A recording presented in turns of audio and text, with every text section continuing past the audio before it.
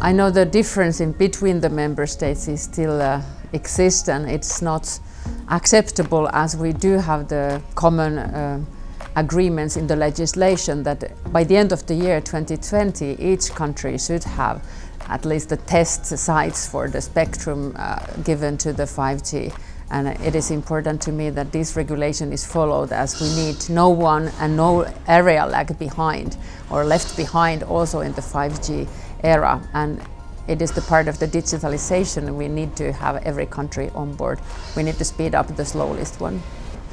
Um, 5G is not today making the big difference, but tomorrow it is.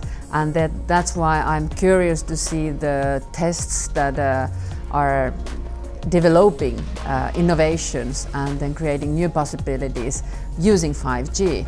And the very important is the energy efficiency, the smart cities, but also the e-health that uh, uh, can be developed. So I have in mind the, the broad uh, policy aims that Europe has set, the Green Deal, and then the social Europe and, and well-being of our citizens.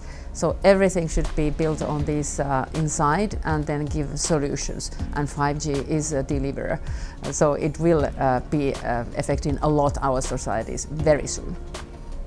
To have the multi actors or, or, many players at the same place is always opportunity to learn, but it is utmost important that we have the European ecosystems. So it's not one company, two companies acting, working separate.